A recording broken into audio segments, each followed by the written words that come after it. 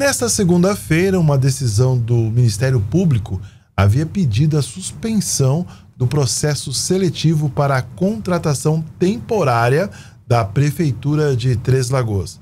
Mas a decisão foi revertida após o acordo firmado entre as duas partes e o processo está mantido. O repórter Emerson William tem mais detalhes.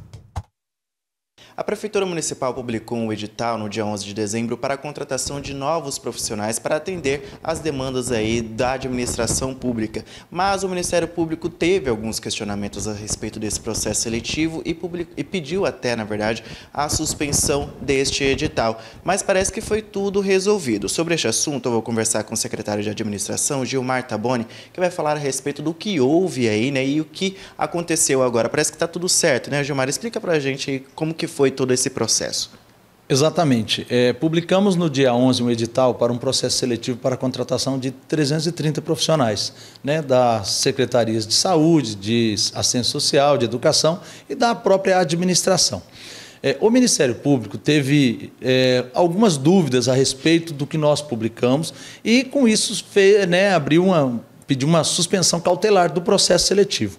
Diante disso, o próprio Ministério Público solicitou que fizéssemos uma reunião, né, para que pudéssemos esclarecer essas dúvidas, né, que eh, em algum momento poderia parecer que tinha alguma coisa legal. Então, procur, fomos procurados pelo Ministério Público, sentamos, conversamos, esclarecemos todas as dúvidas e ontem mesmo à tarde, antes de sermos oficiados quanto a essa suspensão cautelar, o Ministério Público já solicitou a extinção da cautelar, ou seja, o processo nem suspenso foi, né? Nós esclarecemos é, todas as dúvidas do Ministério Público, principalmente a respeito da questão da, das entrevistas, como acontecerão as entrevistas.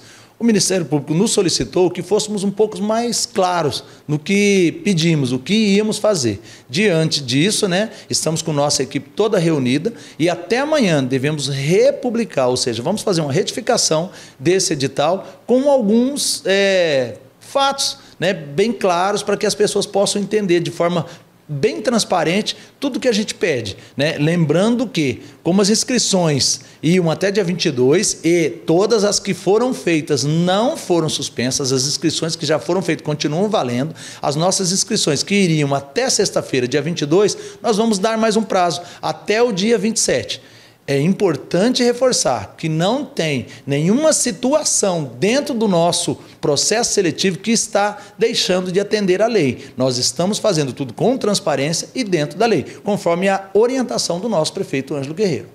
Certo. Essa decisão ocorreu na segunda-feira, mas tudo já foi acertado na terça-feira, então no dia 20 de dezembro, na dia 19 de dezembro, na verdade, é isso? Exatamente. O, o doutor Etelx, que é o, o, o o, do Ministério Público que nos procurou, ele tinha pedido a suspensão cautelar.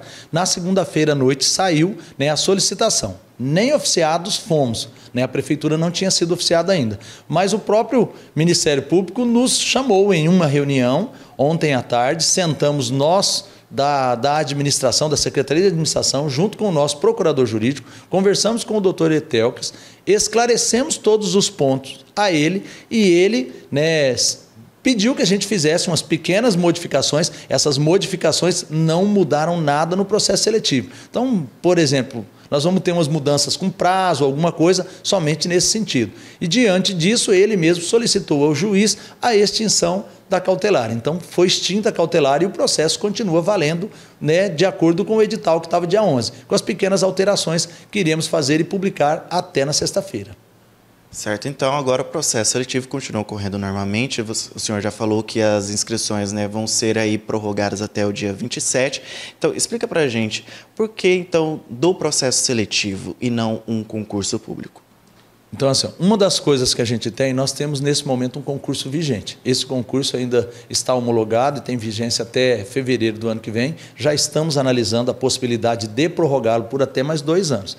Diante disso, nós verificamos que alguns cargos, por exemplo, alguns cargos para atender os autistas da educação, que nós não tínhamos no concurso passado, nesse último concurso de 2018, e não é, tínhamos aqui na nossa estação, um concurso de 2021.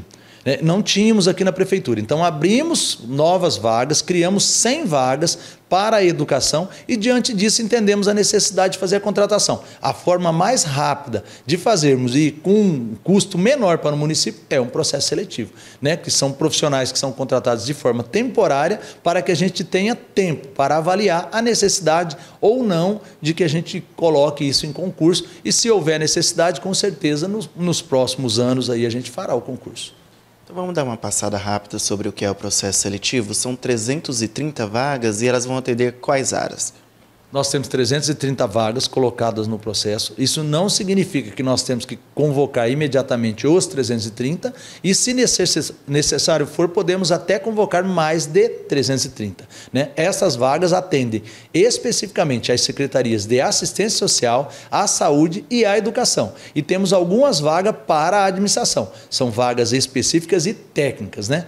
E essas vagas são todas é, colocadas de acordo com o que a gente tem criado na lei.